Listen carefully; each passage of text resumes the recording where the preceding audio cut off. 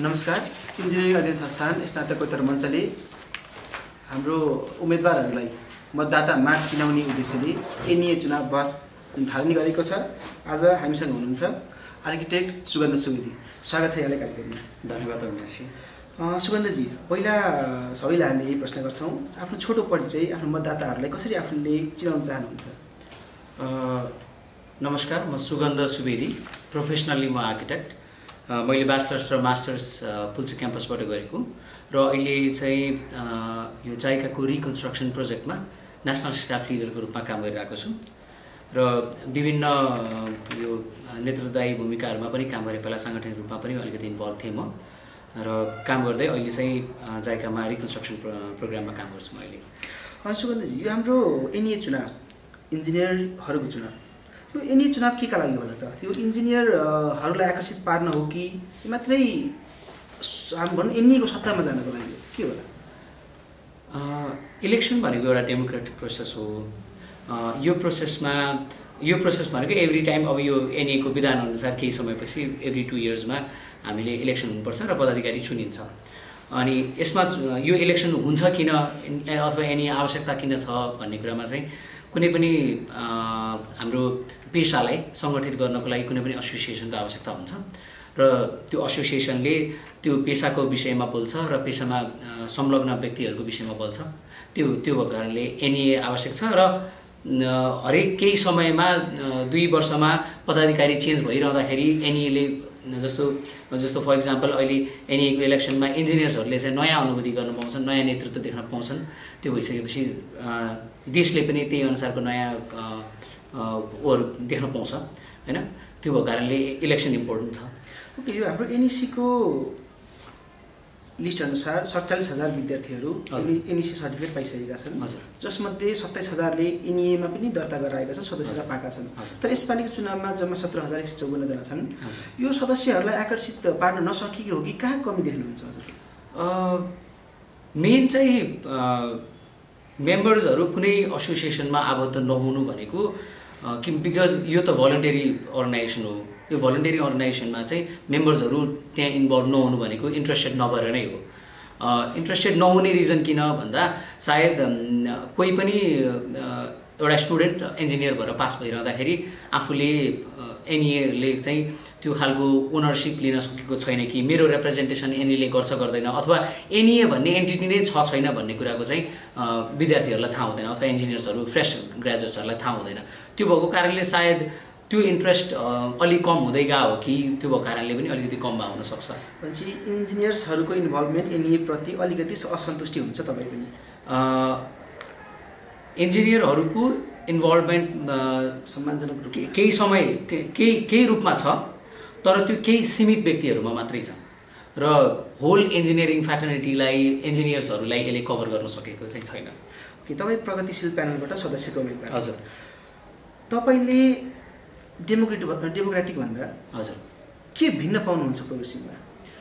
प्रोग्रेसिभको अहिले स्पेसली अहिले म योभन्दा अगाडिको कुराहरू भन्दा पनि रिसेन्ट अहिलेको कुरा गर्न चाहन्छु। अहिलेको टिम एकदमै अर्गनाइज टिम छ। टिमले टिमको नेतृत्व नै आइओई राम्रोसँग चलाउनु भएको र आइओईलाई एकदम एकदम राम्रोसँग चलाउनु भएको र राम्रोसँग चाहिँ आफ्नो कार्यकाल सम्पन्न गर्नुभएको डिनले नै यो नेतृत्व गरिरहनु भएको छ। जसको लागि चाहिँ सबैभन्दा स्ट्रङ पोइन्ट नै हाम्रो लागि चाहिँ यो प्रगतिशील पार्नको लागि चाहिँ उहाँ नै हुनुहुन्छ। त्यसपछि हाम्रो उपाध्यक्षको उम्मेदवार हुनुहुन्छ नेपाल सरकारको सहसचिव हुनुहुन्छ। त्यस त्यस्तै गरी हाम्रो महासचिवको उम्मेदवार हुनुहुन्छ। एउटा कम्पनीको सिइओ हुनुहुन्छ नेपाल सरकार कम्पनीको सिइओ हुनुहुन्छ। यी कुराहरू जुन हाम्रो यो अहिले टिम छ यो टिम नै एकदम स्ट्रङ छ र अर्को चाहिँ हाम्रो टिममा सबभन्दा राम्रो पक्ष मैले आफूले फिल गरेको राम्रो पक्ष भनेको हामी मेम्बर्सहरू जो मेम्बर्सहरू छौँ अहिले मेम्बरको क्यान्डिडेट्सहरू छौँ उहाँहरू चाहिँ यङ छौँ हामी सबै यङ छौँ। जो चाहिँ फुल्ली डेडिकेटेड भएर एनइएलाई इस्टाब्लिस गराउनलाई र इन्जिनियरहरूको हक हितलाई नयाँ फ्रेस मान्छेहरूलाई अथवा जति नयाँ इन्जिनियर्स आइरहनु भएको छ उहाँहरूलाई चाहिँ यो इन्जिनियर्स एसोसिएसनसँग सम्बद्ध गराउनलाई चाहिँ एकदमै मिहिनेत गरेर काम गर्न सक्छौँ। त्यो भएको कारणले अलिकति हामी स्ट्रङ छौँ जस्तो लाग्छ मलाई। हाम्रो प्रगतिशील प्यानलले लगाउँदै आएको आरोप के छ भन्दा लोकतान्त्रिक समूहले अहिलेसम्म राज्य गर्यो। हजुर। र अझै पनि हामी सन्तुष्टि छैनौँ इन्जिनियर सन्तुष्ट छैन भन्ने आरोप लगाउनुहुन्छ के सत्य नै हो त? उहाँले काम नगर्नु भएकै हो त लोकतान्त्रिक समूहले? यस्तो छ। प्रगतिशील प्यानलले एउटा एउटा अपोनेन्टले एउटा भनिरहनु भन्ने कुरा एउटा जायज नै हुन्छ। किन भन्दाखेरि हामीले हेरिरहेका छौँ यो कुरा कसैले बोल्ने कुरा होइन कि यो चाहिँ हिस्ट्रीले रिफ्लेक्ट गरेको कुरा हो। हिस्ट्रीले रिफ्लेक्ट के गर्यो भन्दा यो बत्तिसौँ कार्यकारिणी सम्बन्ध आइरहँदाखेरि पनि यदि कोही इन्जिनियरलाई एसोसिएसनसँग चाहिँ सम्बद्ध हुनुहोस् अथवा तपाईँ चाहिँ एसोसिएसनको मेम्बर हुनुहोस् भनिरहँदाखेरि चाहिँ हामीले फोर्स गरेर मेम्बरसिप बनाउनु पर्ने अवस्था आउँछ। यो भनेको चाहिँ हामीले भनिरहनै पर्दैन। यो सिचुएसन चाहिँ जगजाएरै छ। यो कुरा एकदम स्पष्ट नै छ।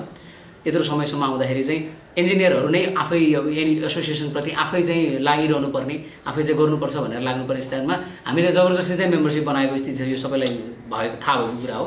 त्यो भएको कारणले यो सिचुएसन आउनुमा चाहिँ उहाँहरू रेस्पोन्सिबल त डेफिनेटली हुनुहुन्छ।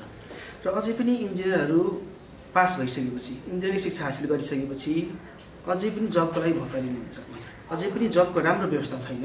यसको लागि प्रोग्रेसिभ समूहले के योजना ल्याएको छ? अहिले हामीले विशेष गरी हाम्रो जुन एजेन्डाजहरू छन् एजेन्डा हामीले चाहिँ आठवटा मेन बेसिक मेन टपिक चाहिँ आठवटा टपिकमा सब टपिकहरू बनाएर राखिरहेका छौँ। यसमा चाहिँ विशेष गरी रोजगार प्रवर्धन भन्ने एउटा टपिक हाम्रो छ। रोजगार प्रवर्धनमा चाहिँ यो रोजगारीमूलक हाम्रो यो रोजगार मेलाको आयोजना गर्नेको विशेष एउटा कुरा छ। त्यसपछि अहिले धेरै जसो अ, सिभिल इन्जिनियर साथीहरू आर्किटेक्ट साथीहरू चाहिँ हाम्रो पुनर्निर्माणमा हुनुहुन्छ। पुनर्निर्माण पश्चात अब के गर्ने भन्ने कुरा क्लियर छैन।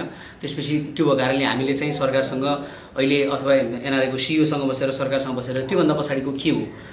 अब के गर्न सकिन्छ भनेर छलफल गरिरहेका छौँ। र जति स्थानीय तहहरू छन् स्थानीय तहमा जति रिक्रुटमेन्ट छ त्यो रिक्रुटमेन्टलाई बढाउनलाई के गर्न सकिन्छ? किनभने अबको डेभलपमेन्ट भनेको स्थानीय तहबाट डेभलपमेन्ट गर्ने हो।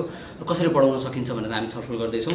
यो अहिले चाहिँ बेसिकली हामीले एउटा गभर्मेन्ट सेक्टरमा चाहिँ यसरी इन्क्लुड गराउन खोज्दैछौँ भने प्राइभेट सेक्टरमा कतिपय ठाउँहरूमा राम्रो दक्ष इन्जिनियर नपाउने जस्तो उहरूले कम्पनीहरूले राम्रो दक्ष इन्जिनियर पनि नपाउने र कतिपय इन्जिनियरहरू काम गर्न सक्ने क्यापेबल भएर पनि इन्भल्भ हुन नसक्ने।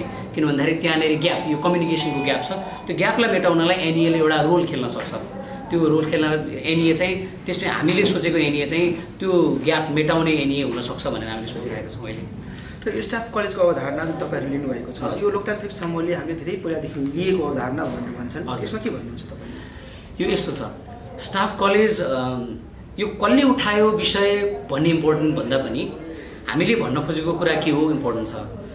बत्तिसौँ कार्यकारिणीसम्म सम् कार्यकारिणी समितिसम्म आइरहँदाखेरि स्टाब्लिस स्टाफ कलेजको इस्टाब्लिस नहुनु भनेको त कसले इस्टाब्लिस गरेन हामी सबैलाई कसले इस्टाब्लिस गर्न सकेन भन्ने कुरा हामीसँग क्लियर नै छ।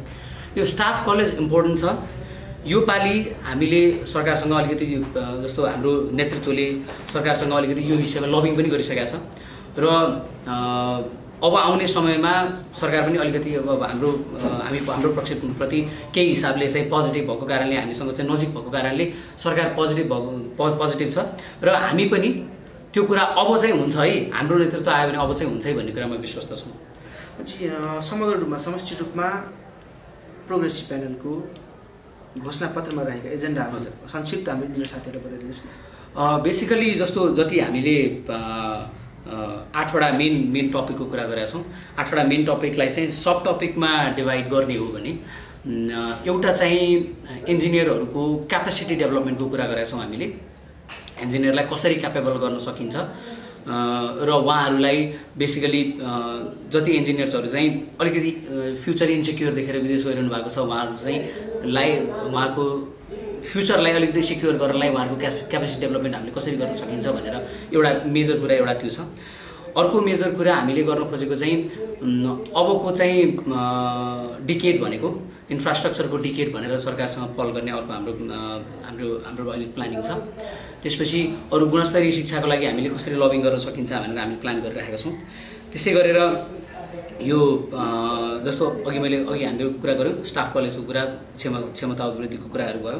त्यसपछि इन्जिनियरको हकितको मात्र कुरा होइन इन्जिनियरको जिम्मेवारी के हुन्छ भन्ने विषयमा पनि हामीले कुराहरू उठाएका छौँ। त्यही बेसिकली यही यही अराउन्डमै छ हाम्रो मेजर कुराहरू चाहिँ। राम्रो कुरा भन्नुभयो अहिले अझै पनि इन्जिनियर कता कता पछि परिराखेको अवस्था हामीले पनि महसुस गरेका छौँ सबैले देख्न पाएका छौँ। र अहिले यो तलब भत्ताको कुरामा इन्जिनियरको तलब भत्ता जुन अहिले सरकारी स्केल छ त्यसमा के सन्तुष्ट हुनुहुन्छ तपाईँ?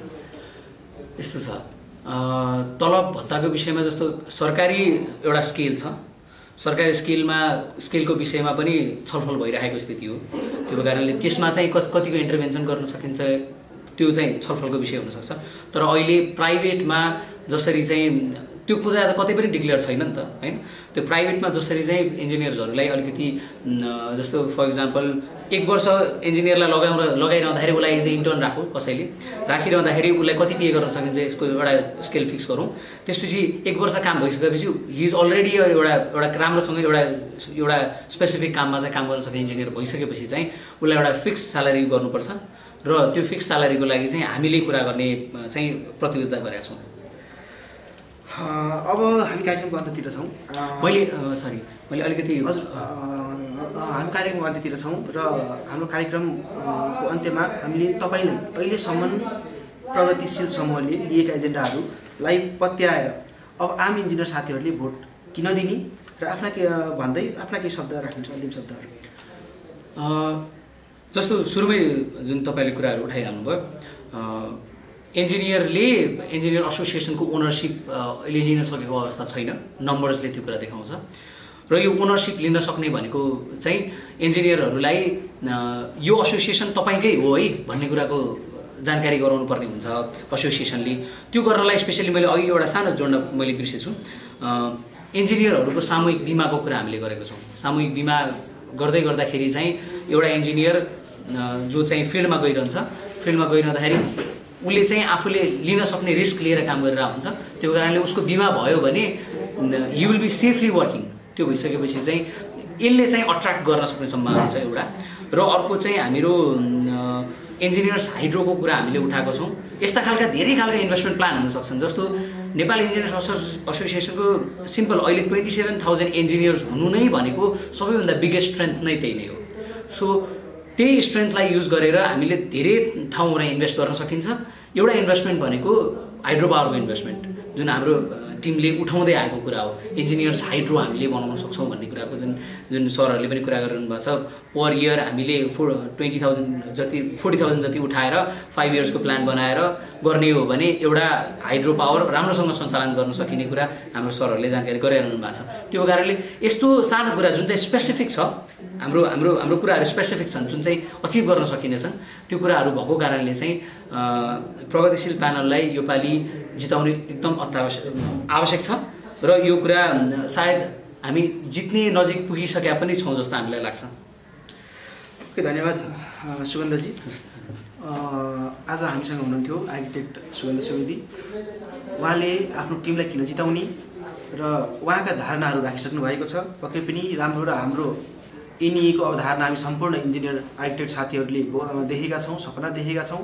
त्यो बनाउन अबको जुनसुकै टिम समूहले विजय गरे भने पनि उहाँहरूले त्यसलाई पुरा गर्नुहुनेछ र सबैको घोषणापत्र राम्रो हुन्छ। त्यो घोषणापत्रलाई अक्षरशः पालना गर्न सक्नुहोस् उहाँहरूले। भन्दै शुभकामना दिँदै तपाईँले जितको र तपाईँ तपाईँलाई र तपाईँको टिमलाई जितको शुभकामना दिँदै यहाँ आज कार्यक्रम यही समाप्त भएको। घोषणा गर्छु धन्यवाद